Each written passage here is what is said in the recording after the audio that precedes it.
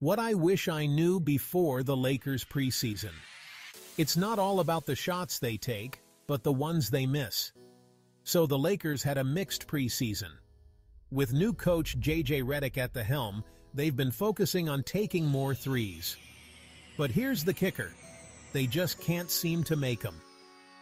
Despite some flashes of brilliance, like Anthony Davis showing off his offensive skills and rookie Dalton Knecht's impressive fourth quarter, the team overall is struggling with accuracy. They're great at creating scoring opportunities, but converting them? Not so much.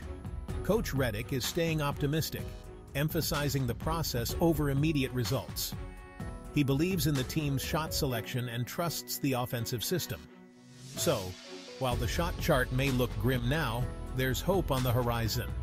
With the season opener just around the corner, will the Lakers find their rhythm? Stay tuned, Lakers fans. This season's going to be a roller coaster.